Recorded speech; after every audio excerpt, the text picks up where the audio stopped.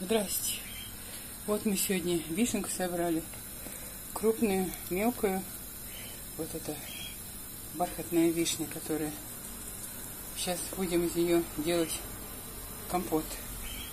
Вот, баночки помыли. Сейчас покажу, сколько заложим, сколько сахара насыпем. Вот так вот. Вот, разложили вишню по банкам. Насыпали по 300 грамм сахара. Вот. Сейчас я сюда наливаю. Чайник вскипел. Крутой кипяток. Полную банку до самого верха наливаем.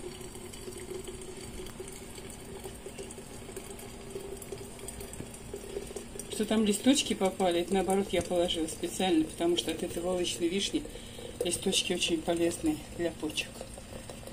Пускай они будут вместе с компотом. Вот до верха доливаем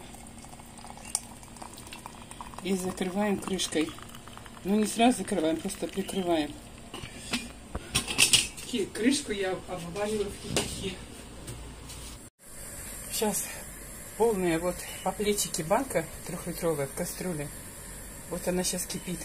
20 минут достаточно. Стерилизуется. Через 20 минут мы ее закручиваем обыкновенным ключом. И вот так вот переворачиваем на крышку, ставим. Можно накрыть одеялом теплым или чем-нибудь, покрывалом. Я это не делаю, потому что у нас на кухне 30 градусов жары. Для чего это делать, не знаю. Вот. И так она будет стоять до утра. Вот. А это вчерашние банки я закрыла. Они вот стоят все такие красивые-красивые. Вчера я добавила апельсинки компот. И абрикосики у меня вчера были. Вот. И это все будет стоять уже в перевернутом виде. Потом я уберу шкаф. Вот. А это будет стоять до завтра, до утра. Сегодня утро у нас. И утром переверну, также поставлю. А потом сутки двое постоит. Если все нормально, убираем шкаф. Вот так. Спасибо за внимание. Спасибо.